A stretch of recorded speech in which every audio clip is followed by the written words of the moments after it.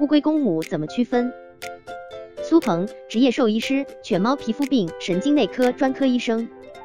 从外观来判断，雄性腹甲有凹陷，个头会相对比母龟小一些，龟壳的颜色也会比较偏深，躯干较长而比较薄，尾巴长而细。母龟则是腹部平坦，乌龟的壳也会偏浅，身体短而厚。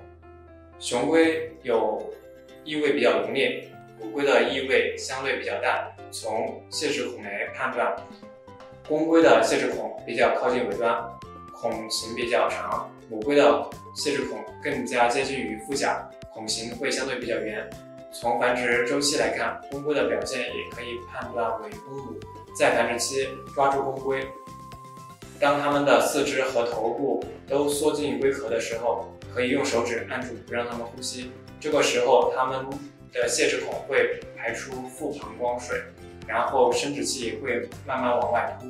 如果外凸出现纵横的皱纹，大多为雌龟；如果有其他的，就为雄龟。